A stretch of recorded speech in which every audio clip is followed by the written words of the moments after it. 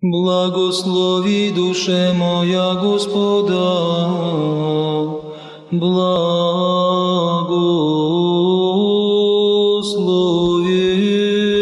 еси, Господи.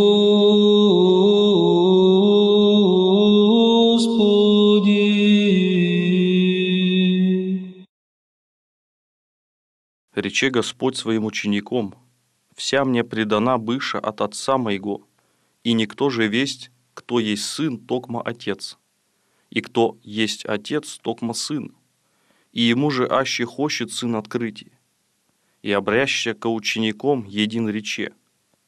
Блаженни очи видящие, я же видите, глаголю бо вам, яко мнози пророцы и цари восхотеша видите, я же вы видите и не видиша, и слышите, я же слышите и не слышаша. Здравствуйте, дорогие братья и сестры! Сегодня понедельник, 3 ноября. В этот день церковь предлагает нашему вниманию евангельское чтение от Луки, 10 глава с 22 по 24 стих. Давайте послушаем, как это Евангелие звучит на русском языке. «И, обратившись к ученикам, сказал, «Все предано мне Отцем моим, и кто есть Сын, не знает никто, кроме Отца, и кто есть Отец, не знает ник- никто, кроме Сына, и кому Сын хочет открыть».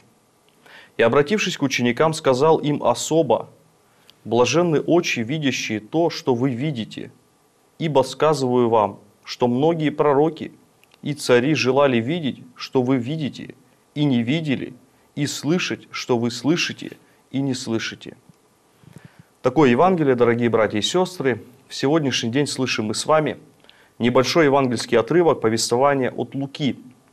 А, И дело в том, что вот именно этот небольшой евангельский а, текст а, очень важен для нас догматически, и, э, как ни странно, в нем содержится ряд очень важных смыслов, ряд очень важных и глубоких тем, которые стали э, тем моментом, над которым рассуждали и размышляли многие толкователи Священного Писания. Ну, здесь а, мы с вами сказали, что этот отрывок очень важен догматически, и в первую очередь вот те первые слова а, 22 стиха, где говорится, что кто есть сын, знает никто, кроме отца, и кто есть отец, не знает никто, кроме сына, и кому сын хочет открыть. Итак, то есть вот этими словами Христос подчеркивает не что иное, как единосущее свое а, с Отцом. Здесь же мы с вами вспоминаем историю а, и развитие христианской церкви, вспоминаем с вами начало эпохи Вселенских соборов, а, которая происходит с 325 года, тогда, когда император Константин Великий созывает Первый Вселенский собор в городе Никея. А, В общем-то, причиной к созыву послужила ересь Ария, которая называла сына Арий, он называл Сына Божьего, вовсе не Сыном Божиим, в том смысле, в котором понимаем мы, но неким тварным существом. То есть он рассуждал над тем, кто же есть в действительности а, и что же есть в действительности Троица, и кто же тогда Сын Божий. И вот как раз-таки вот эти слова для нас подчеркивают очень важный момент. Здесь Господь, конечно же, обращается к иудеям, называя себя а, подобным Отцу. Но подобным, то есть а, равным по своей природе тем, кто разделяет с Богом а, всю славу, э, все его достоинство. И вот здесь не случайно евангелист приводит для нас очень важные с догматической точки зрения слова Христа. Именно этими словами подчеркивается божественная природа Спасителя. То есть на протяжении долгого времени в ранней церкви вот вопрос о том, кто же есть Сын Божий, до разрешения тех, а, этого вопроса на протяжении периода Вселенских соборов, многие отцы сталкивались с дилеммой, кто же в действительности такой есть Сын Божий, именуя себя Богом, а, и как же понимать тогда Троицу.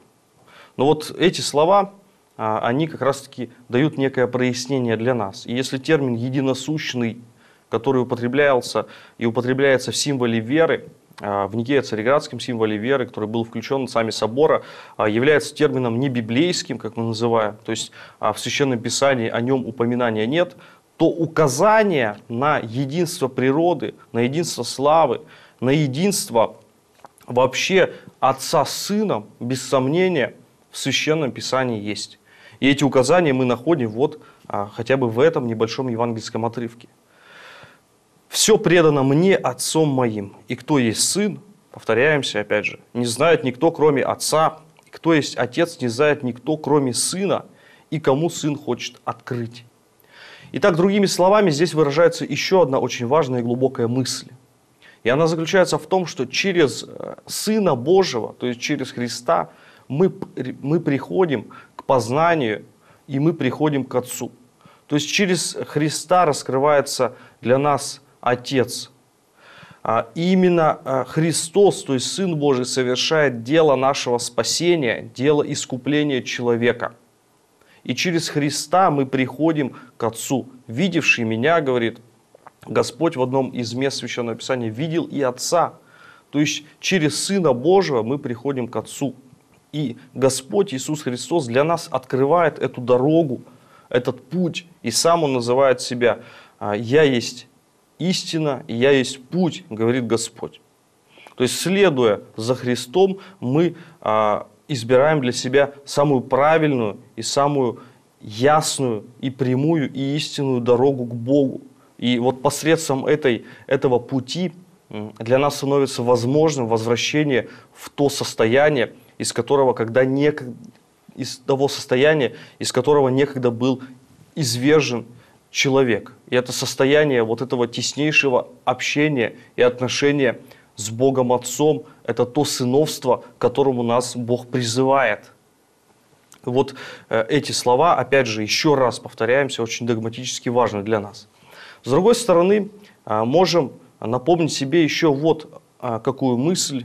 Вот если посмотрим с точки зрения такой греческой философии, мифологии, вот на то, что говорит здесь Господь, то откроем для себя ну, просто колоссальный смысл. Для греков Бог был вообще неизвестен. Бог для греков был неизвестен, и для них э, существовала огромная пропасть между материей и духом. И греки так и говорили, что Бога невозможно видеть и невозможно постичь. И это расстояние, его а, расстояние между человеком и Богом а, преодолеть фактически невозможно. Но вот здесь Господь совершает иное.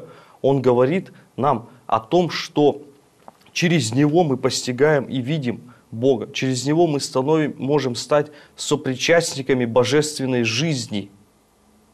И это, этот путь открывает для нас как раз-таки Господь наш Иисус Христос. Но вот э, это Евангелие заканчивается еще одними важными словами. Господь говорит, блаженны очи, видевшие то, чего вы, что вы видите – Ибо сказываю вам, что многие пророки и цари желали видеть, что вы видите и не видели, и слышать, что вы слышите и не слышали. Итак, что же означают эти слова Христа? Здесь мы должны с вами вспомнить послание апостола Павла к евреям, 11 глава. Это примерно стихи 36, с 36. Если мы откроем это послание апостола Павла, то найдем там буквально следующие слова. Он говорит, что были те, которых весь мир недостоин, весь мир недостоин, которые терпели скорби, которые скитались по горам и пещерам, которые были ненавидимы людьми, и их весь мир был недостоин, но Бог уготовил для нас большее, дабы и они через нас имели славу. То есть э, вот Этим мы должны понять следующее, вот через э, эти строчки Священного Писания. То есть весь Ветхий Завет, опять же по слову апостола, является пестуном или где-то водителем ко Христу. И все, что мы получаем сейчас в Завете Новом, в новое время, после пришествия Спасителя, для нас открывается во многом. И вся та преизобилующая благодать, которая имеется здесь посредством а, церкви, того земного устроения, которое совершает здесь, на земле Господь, мы имеем это обилие благодатных даров. И вот оказывается, что вся та праведность оказалась, а, та праведность, которой был недостоин весь мир, оказалось во многом меньше, чем нежели то, что являет Господь, ибо во Христе совершается вся полнота божественного откровения.